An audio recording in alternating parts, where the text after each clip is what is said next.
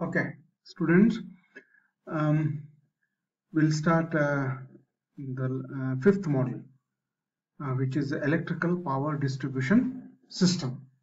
Okay, so we know that electrical energy is produced at the generating station, right? And uh, the power that has been uh, produced has to be, uh, you know, conveyed to the consumers and how it is being conveyed through the transmission system or you know you can say transmission and distribution system. So uh, uh, we have uh, discussed uh, in the first module how this transmission and distribution at, at what voltage level the power transmission takes place at what power level uh, at, at, at what voltage level okay? At what voltage level transmission takes place at what voltage level distribution takes place. Primary distribution secondary distribution primary transmission secondary transmission. We have seen this. But uh, you know um, uh, in fact you know it is impossible to distinguish the transmission system and the distribution system just based on their voltage level. Because what was considered as low voltage, I mean, what was considered as a high voltage earlier has now become, you know, low voltage. So, in general, what you can say that the distribution system is that part of a power system which distributes power to the consumers for utilization. Okay. The transmission distribution systems it's like you know similar to that of a man's circulatory system the transmission system may be compared with arteries in human body. And distribution system uh, can be compared with capillaries. Okay? So they serve the same purpose of supplying the ultimate consumer in the city with the life-giving blood of civilization. That is nothing but your electricity. Okay? So uh, in this chapter there are you know we have uh, two uh, parts in model 5 one deals with distribution which consists of a primary AC distribution system which is uh, again uh, we have to study radial feeders parallel feeders loop feeders you know and interconnected network system. Secondary AC distribution system uh, has again we'll be studying about three phase four wire system and the single phase two wire distribution okay so AC distributors with the concentrated and uniform loads effect of disconnection of neutral in a three phase four wire system we'll be studying in distribution and we'll be studying only about AC distribution system. Okay, we have two types of distribution, DC distribution as well as AC distribution. But we will be studying about only AC distribution. We will not be studying about the DC distribution. It is not there for your syllabus. Second part of module 5, second part of your module 5 deals with what? Reliability and quality of distribution system. So we'll uh, discuss uh, the you know, pre preliminary discussion on this then we'll have a definition of reliability and what is a failure probability concepts limitation of distribution system power quality reliability. This is your syllabus. Okay? We'll discuss one by one. Okay?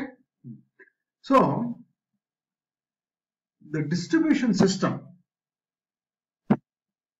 can be uh, you know you can define it. Like you know it is that part of a power system which distributes electric power for local use. It is known as a distribution system. This is what you can take it as a definition. It is that part of a power system which distributes electrical power for local use. That is distribution system. Okay. So the distribution system is the electrical system between substation fed by the transmission system and the consumer end. The distribution systems usually employ the you know, some of the equipment such as transformers, circuit breakers and protective devices. A typical power distribution system has distribution substation, it has a feeders, distribution transformers, distributors, which are nothing but conductors, and service mains, they are also conductors. Okay, we'll see uh, one by one now. Okay, what are feeders? A feeder is a conductor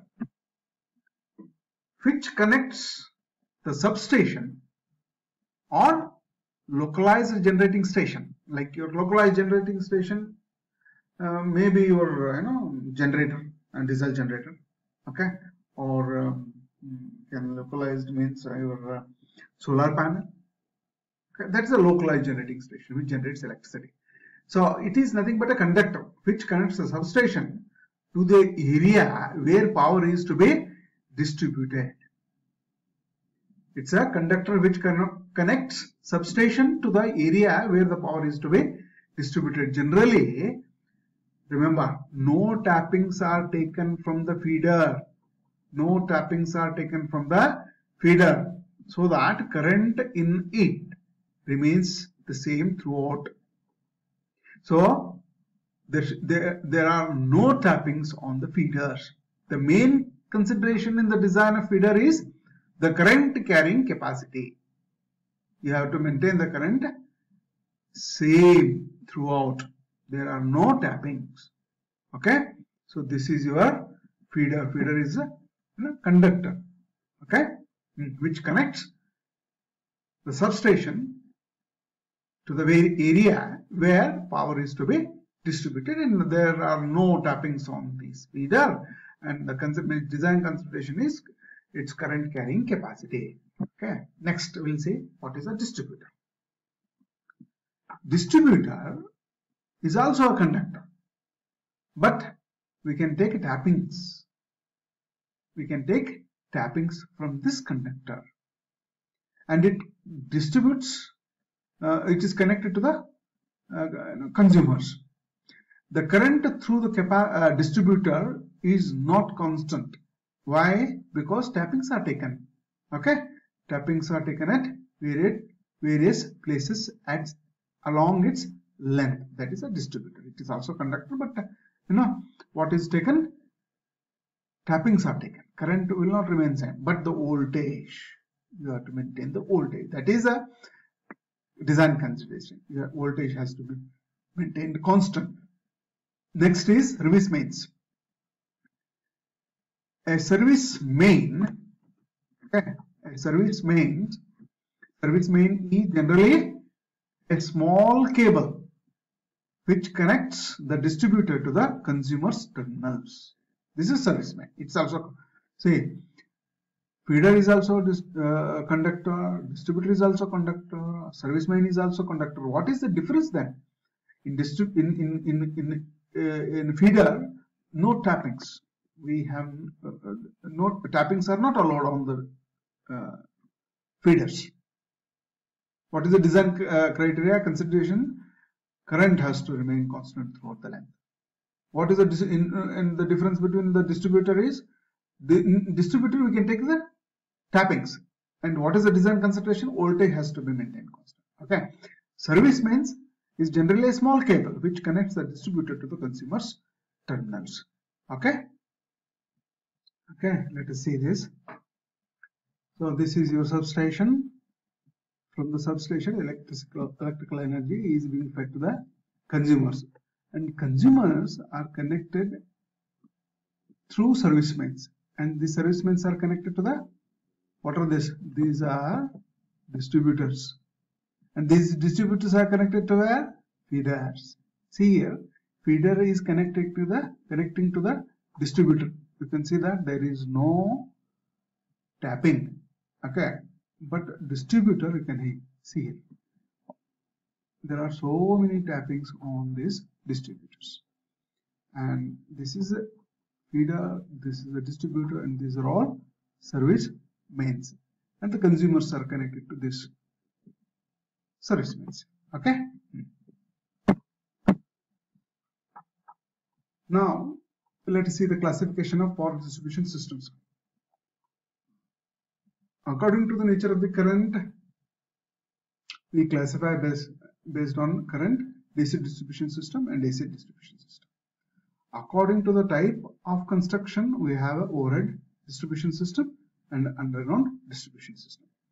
On the basis of scheme of connection, we have radial distribution system, parallel distribution system, ring main distribution system, and interconnected distribution system. We'll see, you know, these uh, scheme of connection one by one. Okay. Before that, we'll uh, have some idea about the AC distribution system. Let us discuss something about this. Nowadays, electrical energy is generated, transmitted and distributed in the form of alternating current AC. One important reason for the widespread use of AC is, uh, with respect to DC, is the fact that alternating voltage can be conveniently changed in magnitude by means of transformer. It can rise or it can lower the voltage level. So in general, the AC distribution system is the electrical system between the step-down uh, substation fed by the transmission system and the consumer's meters. That is, you know, that is your uh, where your service mains ends. So you'll just see this single line diagram of your you know, uh, power system. Uh, this is generating station where uh, we generate electricity at 11 kilowatts and this is a step up transformer at the generating station if we generate at 11 kilowatts then it will be stepped up to 132 kilowatts then from here we transmit electricity at a voltage of 132 kilowatts and this is called as primary transmission high voltage transmission and now we we step down 132 kilovolts to 11 kilovolts at the receiving station. That is step down transformer receiving station.